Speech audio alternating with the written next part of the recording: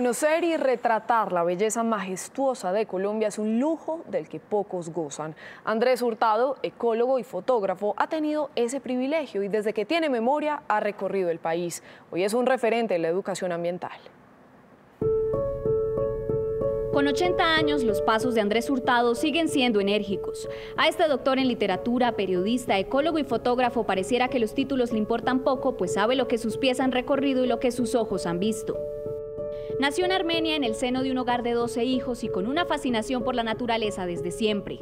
Yo tenía, no sé por qué, desde niño una fascinación por los ríos y la tengo.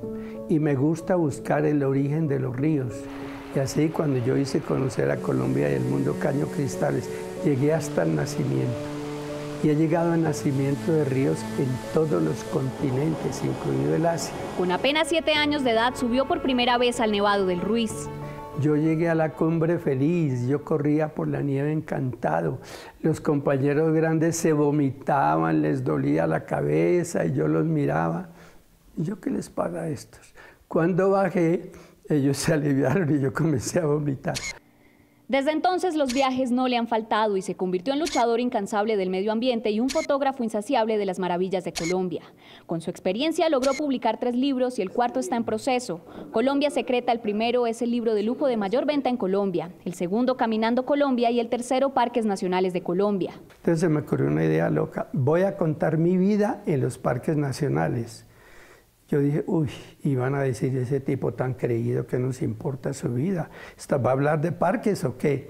Mandé el primer capítulo a Benjamín y me dijo textualmente, esto es lo más bello que yo he visto en parques, en, sobre parques. Tú ves estas fotos y, y ¿qué sientes? Todavía me emociono. Yo, yo tomo muchísimas fotos y casi, casi, estoy exagerando y no es cierto, gozo más la excursión cuando las estoy mirando acá. Andrés reconoce que en sus viajes a lo único que le tiene miedo es a las minas antipersonas en la selva o ahogarse, y aún así no dejaría nunca de viajar. Con recelo cuida a sus fieles compañeras de travesía, sus cámaras, y confiesa su disgusto por el abuso del Photoshop. Yo he visto fotografías de cañocristales con unos colores rojos y alguien que publicó en una revista unas fotos mías y que les pusieron un Photoshop violento y yo dije, oiga, perdonen, ese no es el color del río, yo acepto que le pongan algo. No, no, no, no, que, que a la gente le gustan así los colores, a mí no. Las fotos mías en general son fotos limpias. De sus recorridos por el mundo en pro de la ecología hay temas que en definitiva le indignan. Inglaterra, Alemania y Noruega desde el tiempo de, Santos, el Juan Manuel, dan millonadas de dólares para que Colombia conserve la selva amazónica y la preserve. Y ven que eso no ha servido para nada y siguen dando.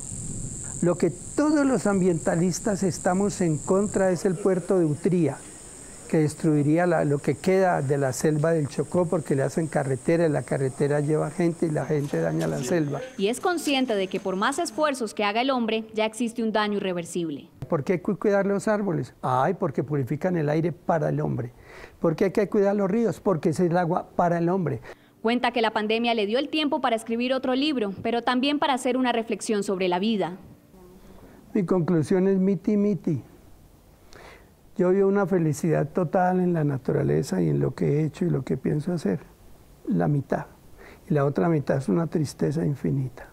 Me tocó ver ahora en Puerto Carreño, cuando hice la segunda o tercera vez el recorrido de Humboldt por el Orinoco, y llegó el carro de la basura.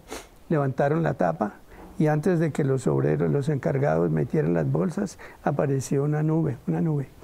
Como 15 niños y mujeres al carro de la basura a sacar porquerías y a comer. Yo vivo muy triste por la...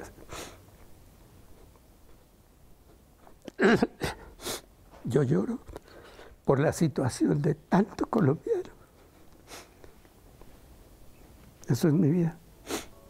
Una trayectoria que lo ha llevado a todos los continentes y que le ha permitido experimentar de primera mano las necesidades del ser humano. Hasta el último de sus días dice Andrés que velará por exaltar las riquezas de Colombia, dejando en sus fotografías un legado imborrable para la humanidad.